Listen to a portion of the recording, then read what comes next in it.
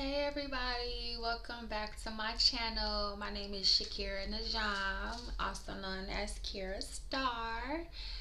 And I am here today to share a message that I know has the potential to truly be healing.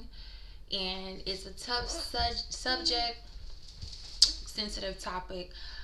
Um, this is actually my fourth time trying to record this video because I'm having some issues with my storage on my phone. So um, it's really taking me a lot of persistence to get this message out to you today. But I also know that that is a sign that there's some forces that doesn't want this to be heard. So I pray and hope that it finds you in good health, in good spirits, and if not, that it can help with your healing.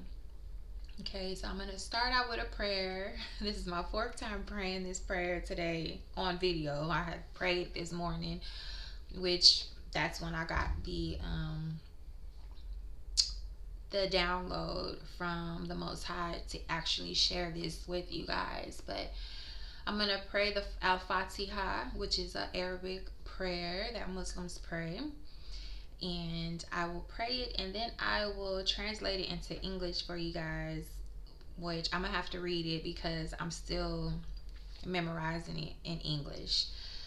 So Bismillahirrahmanirrahim Alhamdulillah Rabbil Alamin Rahim.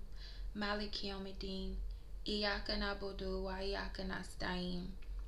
Iddina siratal mustaqim Sara Taladina and Amta Alayhim, Gadiel Magdubi Alayhim, Waladaleen. Amen. Okay. Okay, so there are different translations in English, but this is my favorite one. It is In the name of God, the Lord of mercy, the giver of mercy. Praise belongs to God, the Lord of the worlds, the Lord of mercy, the giver of mercy, master of the day of judgment it is you who we worship. It is you who we ask for help. Guide us on the straight path, the path of those you have blessed, those who incur no anger and not gone astray. Amen. Okay. So, a little history. I've been reciting the Al Fatiha since I was about two or three years old, but as I got older, um, I stopped saying it, and so I recently, this year actually, no, it was last year. Last year, I made a goal to go ahead and learn it again, memorize it, and so I'm still having to memorize it in English because I've been reciting it in Arabic all of this time. Um, but it's important for me to actually know it in English too. So that's the reason why I had to read it. But um, so the topic of today's video is shame. Okay, um, speaking from a personal experience, I've never been the type of person that was afraid to share my testimony with other people. Like, I'm an open book. I never really felt embarrassed. It is very rare that I feel embarrassed to tell people the things that I've gone through. But I have dealt with opposition from people um, close to me you know, feeling away once I do share my story. Like, you know how you start to tell someone something you went through, and then they be like, "Oh, don't you shouldn't tell people that," you know, or you know, people don't need to know all your business. Just keep it to yourself. And I'm realizing today that that has had a really big effect on me. Um, I've always been very well aware that sharing our stories and our testimonies with other people gives them empowerment. Because nine times out of the ten some something that you've been through someone close to you has been through as well. And so being able to connect um even if it's not the best you know most positive thing it still has the potential to heal you and heal others. You know we learn from one another from our experiences. And so i I just always been okay, like on Facebook, um, or social media, but especially Facebook. I used to like just air all my business out. Like I did not care like because in my mind, I'm knowing it's to help somebody, you know. And so as I got older, you know, we go through things more as we get older. And I just, I just started feeling like, you know what? Maybe they're right. Maybe I need to just keep my mouth closed. People don't need to know what I'm going through. They're going through their own things. And the last thing I want to do is trigger somebody or come across like I'm trying to be a victim or I want some sympathy or empathy, even though we all do deserve those emotions. We we deserve sympathy sometimes. We deserve empathy sometimes. But I'm never wanting to portray myself as a victim because I am not a victim. Yes, I have been victim to some things that's been very very tough to get through in life, but I don't see myself as a victim. I see myself as somebody who has been empowered by my experiences because I also take ownership in, you know, any decisions that I may have made that have led to certain things in my life that played out to to cause me harm. Um, so starting out, the definition of shame is a painful emotion that can arise from a sense of guilt, impropriety, or shortcoming.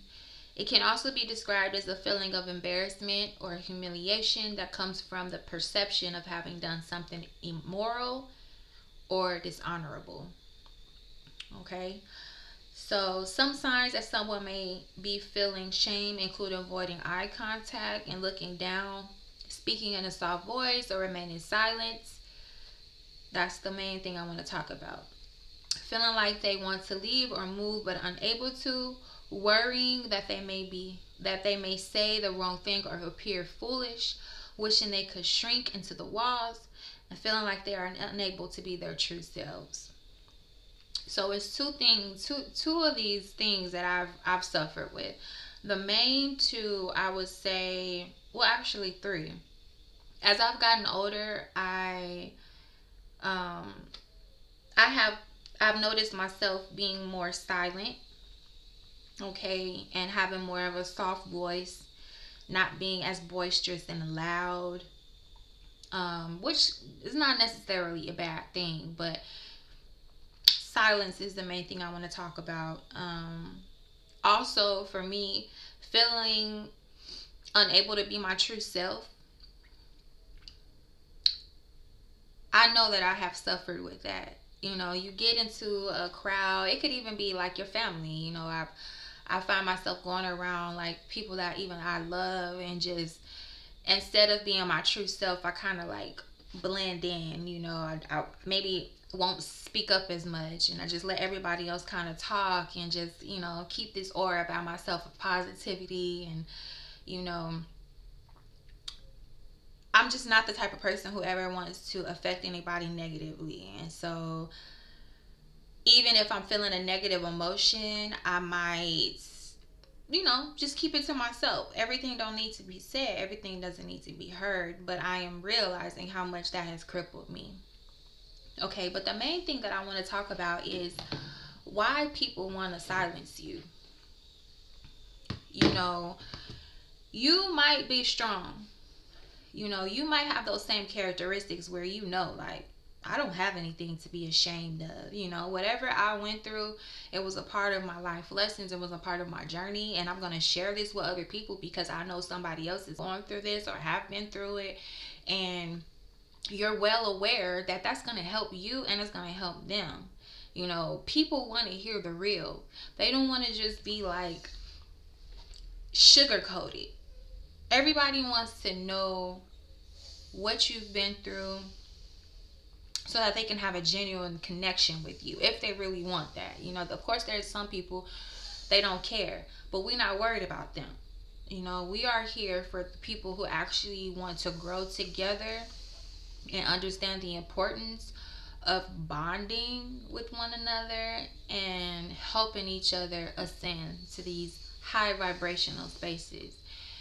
Um, but I noticed a lot of the times when I would speak up about things that I've been through, so many times people would tell me, "Oh, you're telling too much of your business. Like, you need to just keep it quiet. Like, no, like, there's no reason to be sharing all of that." But as you can see, in 2024, sorry, my nose started running. I don't know if that's a sign or something, but um, because my nose literally was not running at all. Now I'm starting to run a little bit. Okay, but um I'm realizing how much that has affected me. You know, as I got older, I'm 36 years old and I have two children of my own. And it's like a double edged sword with social media and people sharing their their life because on one side we have people sharing all of the positive things you know we feel like that's all we're seeing from some people and then from other people it's like they're sharing negative things and it becomes overwhelming, you know. So I believe that the best thing is to have a healthy blend of both. I've noticed that some people will repeat their story over and over and over again. And I guess that's important, especially if you're someone who's bringing in new people, new followers, um, building your community. And so some people might not know what you've been through and where you come from. But to me, sometimes that's kind of annoying. Like if I've already heard your story, I don't want to hear it over and over and over again. You know what I mean? It's like I respect it. I know it's important. I don't diminish the value of your story, but sometimes it can be a little bit overwhelming. You know, you don't want to be beat over the head with negativity too much. You want to see sometimes you want to see that more that more positive, you know, side of someone. But I'm realizing that it's really important to be solution based. So if we're going to get on here and we're going to be influencing the world, we have to come with some solutions. We can't just only talk about my daughter just woke up. She just woke up. I had to pause the video, y'all, cause she she got her little undies on and stuff. I have to pause it again, but what was I saying? Okay, so you want to have a perfect balance. You know what I mean? You don't want to.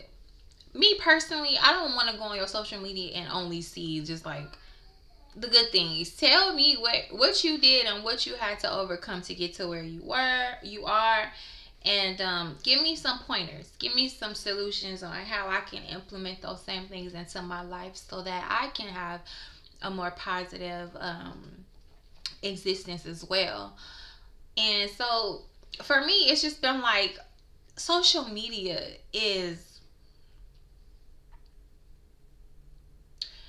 it's a great tool like i'm so grateful for it because we are able to really connect in ways that we couldn't when we were growing up. I'm an 80s baby, okay? I was born in 1987 before the internet, you know, so I remember the transition of, you know, AOL, hearing that annoying beeping when you turn on the internet and not having cell phones, having beepers, you know, and really being forced to have actual human interaction you know. But now we have the ability to just log on to our devices and communicate and connect that way, which is awesome. But even for me, I'm trying to find a balance because I do find myself sometimes getting on there and feeling like, man, like, when is it going to be my turn? You know what I mean? Like, what am I doing wrong? And so, of course, that led me to start doing my shadow work and really getting to know myself. And so these days, I am just really, really taking a deep look into my life. And that is why this came up because I woke up this morning and I wasn't feeling the best. You know, I was just like, I have a situation going on and it's been very, very confusing for me. God has been t- testing my patience, my loyalty.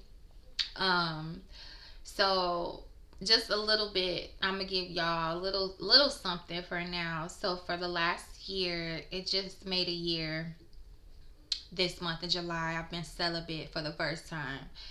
Um since I was 16, since I lost my virginity, honey. Okay, I lost my virginity at 16 years old. I graduated high school at 16 years old. So I was a little bit, I felt that I was a little bit more mature than the average 16 year old. But looking back, I wasn't. Like, I made horrible decisions. I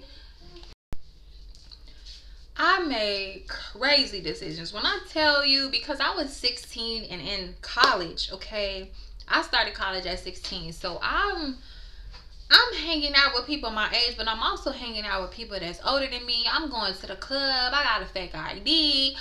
I'm hitting the back streets with my friends, all up in the hood. Like I had a great life, a great youth. I will say that I really was I was always doing something, okay? I was always doing something to the point where I stopped really focusing on school because A, it wasn't really something I wanted to do. I always had a passion for music, but you know, it wasn't something that my family really wanted me to do. My family wanted me to go and get a college degree.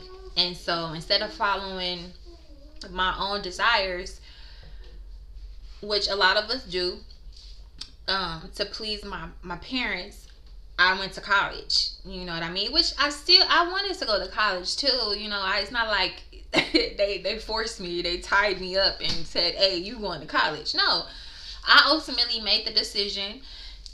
I wanted to go to cosmetology school because I had already been doing hair my whole life. It's another passion of mine, and so my plan was to go to cosmetology school so that I could be making money while I'm chasing my dream of music and it just didn't happen that way. I ended up still doing hair, but you know, so it didn't seem like a big deal because I was still able to use my hands. I'm gifted with my hands, you know what I mean? But um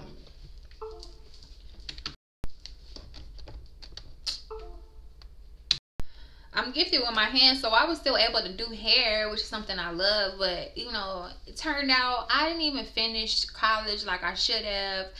You know, I um, I'm, you know, I still it's still on my bucket list because I want to finish what I started. But I did four years of college and was shy of the credits to have my actual degree, so that taught me a hard lesson. That taught me looking back that I should have, you know, stuck to what I wanted for myself. I should have done what God had put on my heart to do because that's clearly my life purpose, you know. But when you're younger, you're impressionable. Of course, you want to please your parents, you want to please your family, and so, you know, you don't realize that you have knowledge within yourself and that you don't always have to follow completely what they want you to do. But because I guess I was still 16, not quite an adult, that's just that's what what happened. Okay? But that's an example um but I'm I'm sharing that because this is my mentality. I know what I want for myself God gave me a clear vision over my life, what He wanted me to do. I actually remember the day. I was about three years old when God told me He wanted me to do music. Okay? I remember the day. I was literally in kindergarten. Um, because I started school early. I was literally sitting in kindergarten class and the teacher asked us what we wanted to do. And I remember God telling me, not myself telling me, but God telling me that music is what I was here to do okay fast forward to me being 36 years old i record my own music but nowhere near the amount that i should be doing it. And so it's still something that i'm working on you know getting into and just doing just because it's something i'm passionate about but also because i know that that's what god wants me to do. And so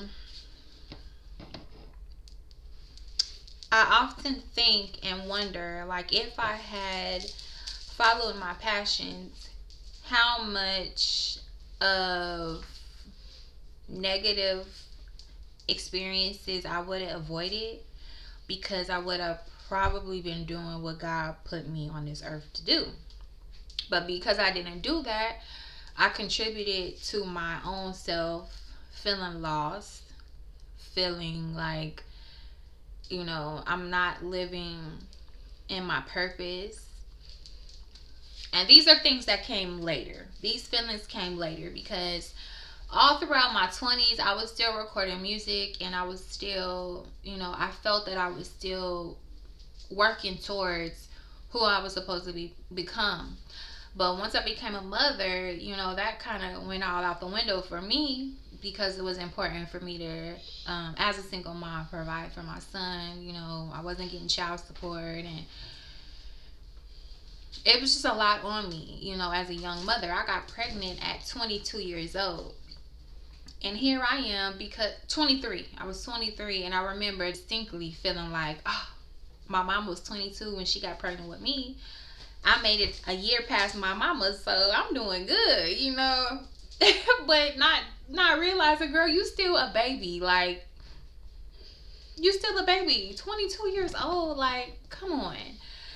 So in my 20s, I went through so many situations and I was always vocal about stuff I was going through. Like, I would literally put people on blast. And most of the issues that I faced were with young men. With me being in a relationship, I've always been the type of girl that had a boyfriend.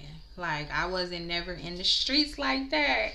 And if I was in the streets, it was because I was in between boyfriends. I was in between relationships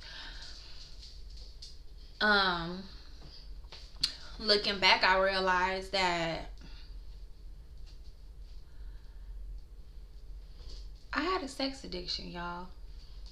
Like i really had a sex a sex addiction. That was the way that i coped. When i wasn't getting the attention that i needed um so what i would do me and my boyfriend would not get along I would break up with him and then I would go explore. I was never the type, I never felt good with like cheating on somebody. You know what I mean? So I, I would give myself that much credit. At least I know that when I did explore my sexuality, I did it and I made sure that I was not in a relationship and I wasn't actually committed to somebody but I was breaking up all the time. Like I've had so many breakups. Like so, you know, fast forward to me being 36 years old, and you know, just trying to figure out why my life is where it is. You know, and I realized that I, I was a sex addict. I I used sex to cope with my emotions, to numb my emotions and it just it, it was just a cycle of never feeling fulfillment never feeling the love that i truly wanted to feel. And um at this time in my 20s i wasn't really sharing my experiences with anybody. You know it seemed pretty normal it seemed pretty normal. It was what everybody was doing. Everybody was just out having a good time, living their life. I wasn't realizing the effect that it had on my mind, on my spirit, on my soul, on my mm-hmm. heart. And I'm finally at a point where I realized that I'm so sorry to be wiping my nose. Like, I cannot believe my noses keep running right now. But I'm finally at a point where I've realized that that was a big obstacle for me. And so last year I decided to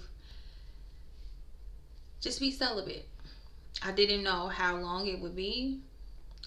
I'm still celibate now. it's been a year and honestly, it was the best thing that I could have ever done for myself. I've had the most clarity. I've been able to really look at myself and evaluate my past, my present, what I want for my future.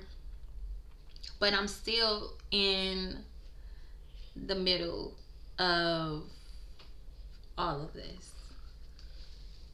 Mama, my bed, my very swollen. Yeah, what? The baby's born. Okay. You find it, okay? Okay, so back to shame and guilt, okay? So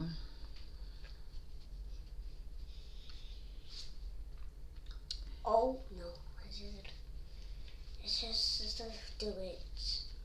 No. it's such a touchy subject for me, you know, because I still kind of feel weird. Like, I feel weird sharing my story because I don't want to embarrass anybody. And that is a big part of it. That's a big part of why we allow people to silence us because and that's a that's a big part of why people want to silence you. They don't want you to go around telling your story because it might incriminate them.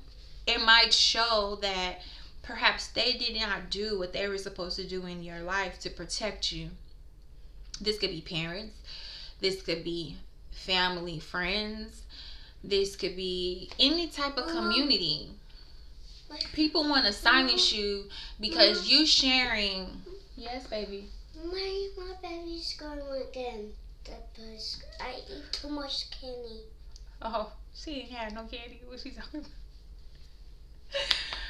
People want to silence you because once you start telling your story, then they're gonna have to face what they did.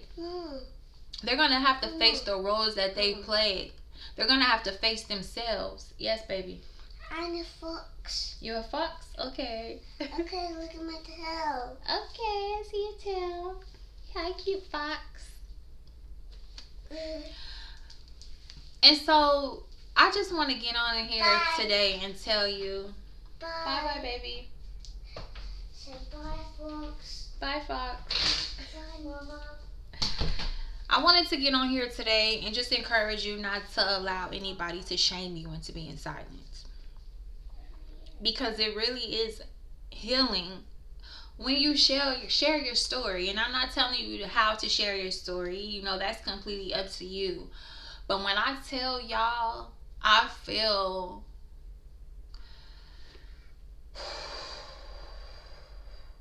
I could I, I could take my mask off. You know, I could I could be used one day as an example of God's grace and mercy and love and what it looks like to fight through those things that made you feel shameful. You know, I'm not in a place of life right now where I can really share um any extravagant life experiences that I'm having right now because I'm not. I'm not having a lot extravagant life experience, but I do live in luxury. And my luxury is being able to be home with my children every day. My luxury is having food in our bellies. My luxury is having a roof over our head. We live in the hood. We live in the hood. mama. But when I was pregnant with her, I was homeless. Mama. I wasn't homeless very long and I had somewhere to go, but I had no place to call my own. And so I can literally say that despite not having very much right now, I have made progress. And that progress is what I'm holding on to to know that I can go even further.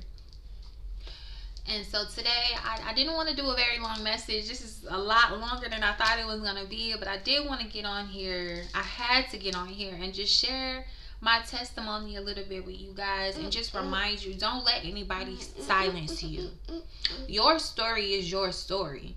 And if somebody didn't want you to expose to the world what they put you through or the things you've been through, they should have done something to help you not go through those things. You know, we got to stop trying to cover up other people's contributions to our depression, our anxiety, our feelings of being lost, you know, that's ultimately what you're doing. When somebody tells you, "Oh, you need to, you don't need to, you don't need to share that," nine times out of ten is because they feel guilty. They feel guilty about something, and you know what? That's not your fault.